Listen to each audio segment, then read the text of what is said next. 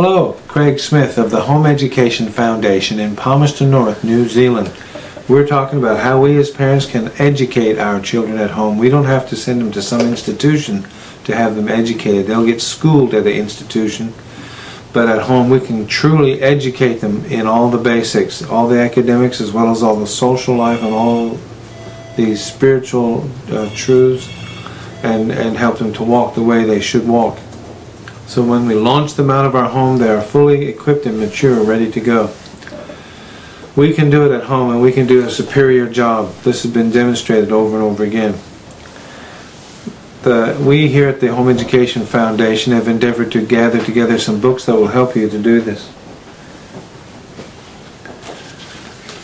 In New Zealand, uh, in order to educate your children at home legally, um, you have to get an exemption from the Ministry of Education. The Ministry of Education, of course, uh, administers the Education Act, which requires all children from the time they turn 6 until they turn 16 are required to two things to be enrolled at and attend a registered school.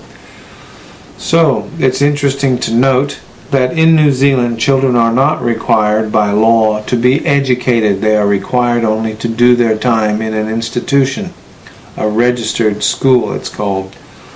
And these registered schools go from one end of the scale to the other end of the scale when it comes to standards.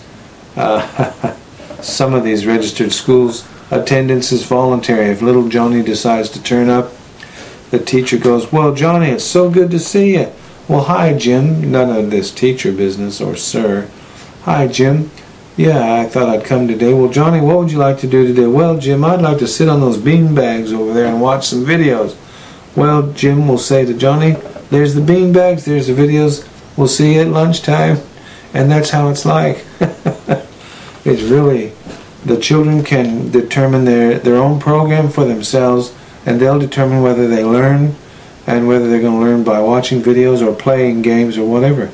It's a completely uh, democratic type learning, voluntary. Now that one I just described is uh, what goes on at Discovery One in Christchurch. It's a government school, totally alternative. I was describing this once to a, a, a homeschooling mom on the phone and she laughed and I said, oh, you don't believe me? She says, no, I believe you all right. You perfectly described the school I went to, she said.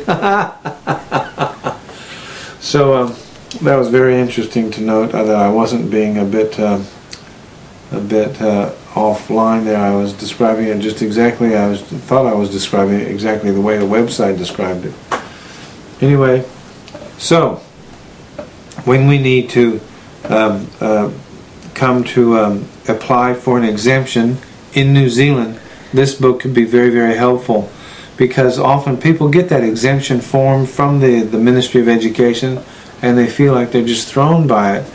It's not no need to be thrown by it. It does look a bit complicated. It's poorly written, and I think it's written poorly in order to put you off so that you'll give up.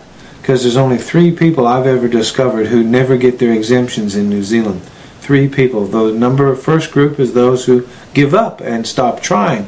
The second group are those who in filling out the exemption, they prove themselves to be incompetent and the third group are those who, for whatever reason, some terrible skeletons fall out of the closet.